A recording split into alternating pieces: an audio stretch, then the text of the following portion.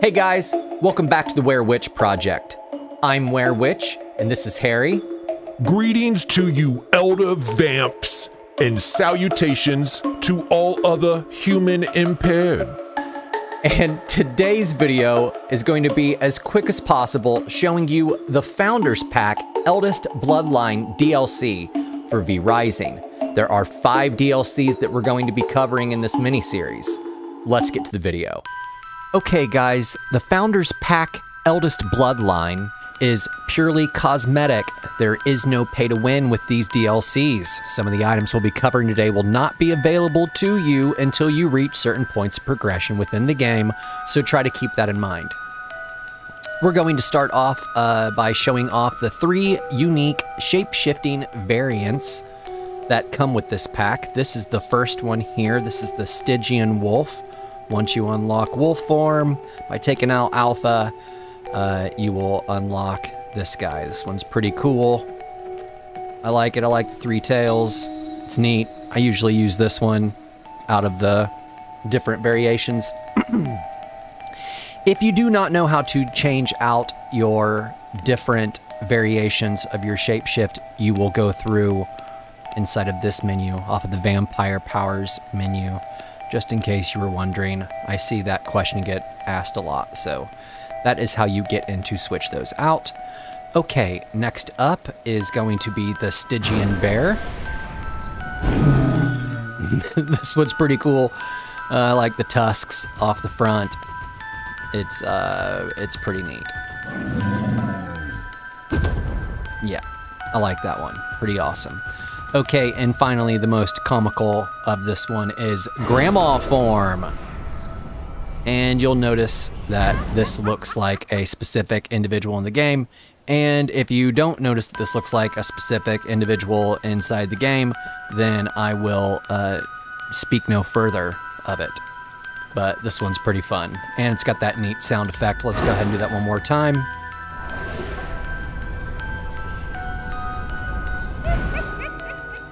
Yeah, I like that. It's kind of got like the old witch cackle.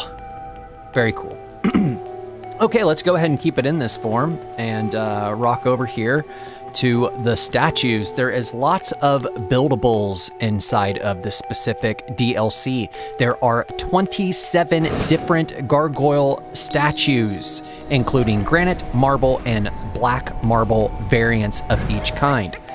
I have set up one of the first gargoyles, the patient gargoyle, and I have built it in the three different forms. You've got your default here, just normal stone. You've got the, um, excuse me, the uh, black marble here. And finally, you've got the marble over on this side. Now I have built the statues in marble because I believe that you can see the detail better with the white lighting above and I even chose the wallpaper differently so that you can see the details on these a little bit better than if I would have made them in the other one. So apologies if you wanted to see these in those other kinds, maybe you got to get the pack to see that yourself. Okay, moving right through these, um, what do we have here? We have the eldest lurking gargoyle. Pretty cool, reaching out there. Next up, we have the crouching gargoyle. Pretty cool, pretty creepy. Next up, you've got the pleading. Like the way he's reaching out there, I think that's neat. You've got the pondering, rip off of the thinker. Uh, you've got the roaring gargoyle here. You can see that through the candles there. Next up, we have the agonized gargoyle. Another cool one. And the victorious gargoyle here, as you can see, there's there's like a villager's head in his hand. Got a pretty cool sword there. And uh, finally, the challenging gargoyle. Once again, you can build these in other colors. I chose to do this so that you could see the details. And then finally, the highlight of it, which is the dueling gargoyles. And the statue is awesome, and I always try to find a way to put this in my castles as often as possible. I normally do it in the black and then have creepy lighting around it and stuff, but that's going to be completely up to you. Okay, next up is pillar mounted statues to start off here. we have the. Oh, come on. Come on. You're going to hover it? You're not going to hover it. All right. Well, we have six different gargoyle ornaments that come inside of this pack. This is our first one here. I like this one a lot. Um, I wish they would have done mirrored versions. They do not have mirrored versions of these.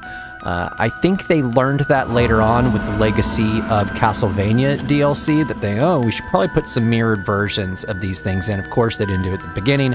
This is one of the earlier DLCs that came out, so that's why we're running into that. Here's the next one. I like this one. Dude's kind of trying to figure out his life. He's having a crisis for sure. This one's pretty wicked too. This one doesn't matter so much that it's not mirrored. I like to double these up during uh, like entrances and stuff like that. I also like putting them on the exterior of castles at entrances as well. I think it's pretty cool. Yep. Next up, we've got our hands out, kind of reaching out. Like that one a lot. This one's kind of got a guardian feel to it, right? He's holding a spear in his hand. I like that one as well. This is good if um, your room's feeling cramped because you can still get in a statue and, and he's kind of, you know, he's tucked up on top of himself. I like that one. And finally, another one. This is like the victorious one that we saw over on the other side. As you can see, the one where he's holding his head there.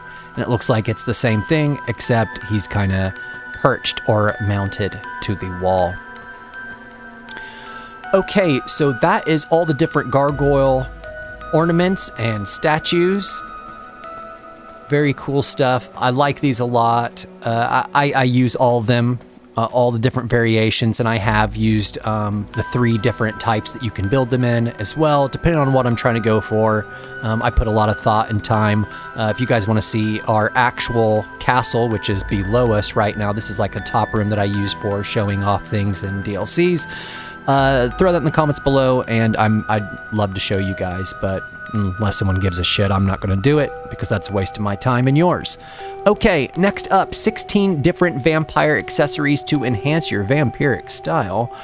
Let me scroll over here, make sure I'm not missing anything for you guys. All right, let's jump into the mirror. So first off, we have the Mask of Jewels. These are all going to be found in your accessories.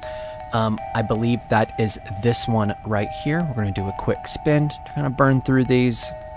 Okay, next up is the Pure Golden Half Mask. Right there. It does look like there's a little bit of clipping with the specific face. Um, I took my normal hairstyle off before I started to record, just so that you could see these a little bit better and maybe get an idea. So if this is your favorite face and you want to use this mask, you're going to see you've got a little bit of clipping right there. If you don't give a damn, you don't give a damn, but sometimes that stuff bothers me. Moving on, the horned half silver mask, pretty cool. It's got kind of a cane thing, and as you can see again, we've got a little bit of clipping going through right there. That's a shame. I um, don't normally wear these specific ones, so that's why I've not seen this before. So you're experiencing this, experiencing this with me in real time. Uh, I believe this one right here is the human half ivory. That one's not so bad. That's not bad. I like that one. Okay, next up is the black leather eye patch. Let's find it. Do, do, do, do, do, do, do, do. I am not a professional. There we go. So yeah, if you want to do the pirate thing, there you go. Once again, you can see there's some clipping, meshing going on right there that I'm not a big fan of, but I believe that some of the other facial, this this specific one has lots of uh, pronounced features, so I'm sure that's why that's occurring. Okay, next up is the Emerald Lens Glasses. These ones are awesome. I love those shielding on the side. I'd like to have those in real life. I don't know about that collar, but those are bitchin'. I like those. Very cool. Next up is the Elegant Bifocals. See if we can find those. I wonder if that's those. Mm, those not, might not be it, guys. And once again, my apologies for not having this together. But we can run through these. It, it might be, I wonder if it's that one. Uh, let's go ahead and move on. Inventor's frames. That's, that's what I would assume that this one is. Yeah. I'm assuming, once again, I apologize. Next up, Scholar's Monocle. Much more positive that that one is correct. Okay, wing-tipped glasses. Maybe that's what these were. Mm, not real sure if these are going to perk a lot of people's interest. Half Moon Spectacles. Next up, Oni's Jaw Mask. see if I can find that. I bet that is in a different spot. It is. Here we go. So sorry about that. Apologies. Not a big fan of this one, too. Uh, it's just not my thing. Looks really dumb with those half moon spectacles. So sorry. Okay. Mannequin uh, doll jaw mask.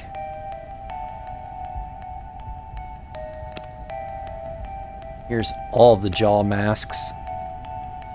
And I am just not a big fan of those. Uh, Golden Beast jaw mask.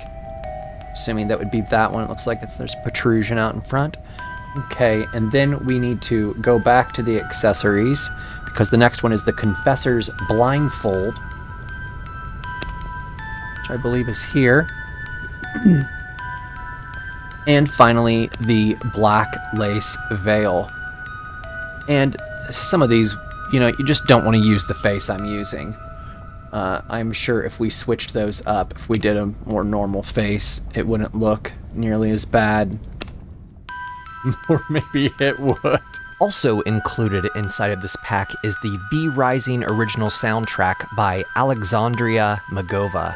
Original tracks available in both Wave 24-bit, 48 kilohertz, and MP3, uh, 320 kilobytes per second. Soundtrack cover artwork, Track listing is Vampires Rising, Dawn Comes, Farbane Night, Song of Dunley, Moonlight in the Countryside, Hallowed Mountains, Kiss of Frost, Tales from the Cursed Forest, Forest Part 1 and Part 2, Clash of Faiths, Darkness and Light, The Castle, We Hunt, Dungeon Born, Rust and Regret, Madness Unleashed, Dystopian, Sonata, Whispers of the Wasteland, Beneath Shrouded Skies, Echoes of Despair, and Dracula's Theme. Hopefully, this helps you to decide if this is for you or not. If you are a builder, I would recommend it. Uh, if you're looking for some of those accessories too, those oddball accessories for your characters, if that strikes your fancy, then you would want to um, probably pick this one up. But I think this one's more for the builders, and of course, if you're wanting to get those cool uh, Stygian shape shifting variants. Okay, everyone, that covers this DLC for V Rising. This video helped you decide whether or not to nab this one up, let us know in the comments. And if you want to see the other DLCs for V Rising, we'll have those in our V Rising playlist that should pop at the end of this video. If you enjoyed what you saw today, maybe slap that like button, subscribe, and feel free to share our videos with a friend. That stuff helps us out more than we could ever thank you for. We've got all kinds of content for V Rising on our channel and for the games that we play on the project. We've got tips, tricks, guides, full gameplay episodes with tips peppered into them as well. Yeah, and which has wasted all kinds of time playing V Rising 2. L like what, 600 some odd hours? I'd prefer not to confirm or deny that. Uh, not as much as some other games, I'll say that. So if you have any questions, leave those in the comments as well. That's right, H. I'm happy to help our community whenever I'm available.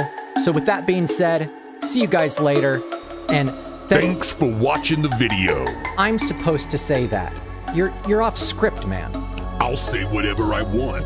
No, dude, there's a format that we're trying to adhere to. Adhere to a doormat?